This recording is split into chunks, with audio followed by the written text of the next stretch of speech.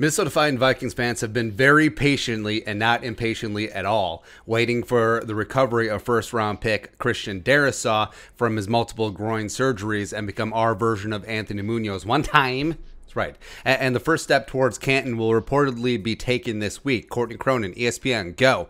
Mike Zimmer said the Vikings are going to try and work Christian Darrisaw into individual drills at practice on Wednesday. Doesn't sound like there's much of a timetable at this point.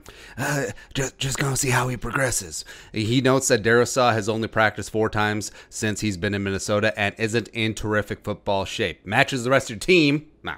Uh, feels like uh, it'll be rough for a rookie to supplant a veteran at left tackle, considering how little Darrisaw has practiced and the fact that he missed training camp. As Zimmer calls the situation outcome with Darrisaw an unknown. Ma and Wednesday is generally the first day of practice for a Sunday game, and Darrisaw returning at least for individual drills is a good sign.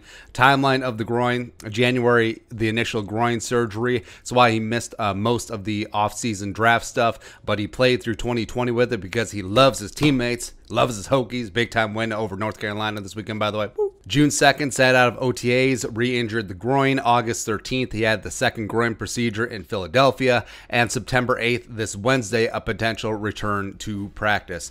And even with the return, I think that Darrisaw is a major underdog to even be active on game day against the Bengals. Rashod Hill is obviously going to start at left tackle. And I think that Blake Brandel will be active and be the swing backup. And I know people are frustrated that he's not out there, uh, but think crock pot instead of microwaves when it comes to groin. Although, don't think of any cooking vessel at all with groin, but timeline wise, just low and slow. Take it as it goes.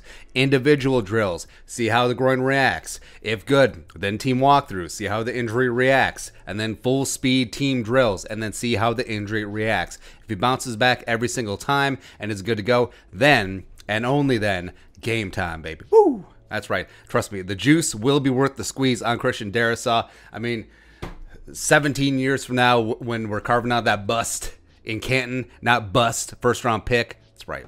That's right. Just keep hope alive. Just talk through it. That's what we're going to do.